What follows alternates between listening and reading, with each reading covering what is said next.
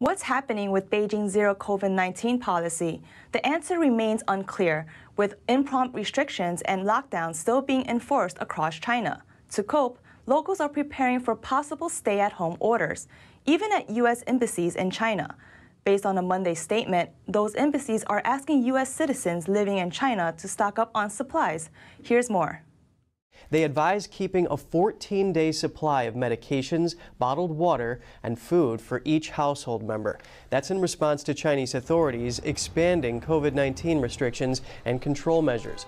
China is reporting a surging number of cases of the CCP virus. Some Chinese netizens replied to the embassy's Twitter post pleading for assistance. One user asked every civilized and democratic nation to help Chinese citizens. In light of the protests happening in China, the White House says its position on peaceful protest has not changed. John Kirby of the National Security Council said Monday that the White House supports the right to peacefully assemble. Whether it's uh, people protesting in Iran or China or anywhere else around the world, um, nothing's changed about the, the president's firm belief in the power of democracy and democratic institutions and how important that is. Kirby said the White House does not have extra information about the protest, other than what's found on social media and from traditional media.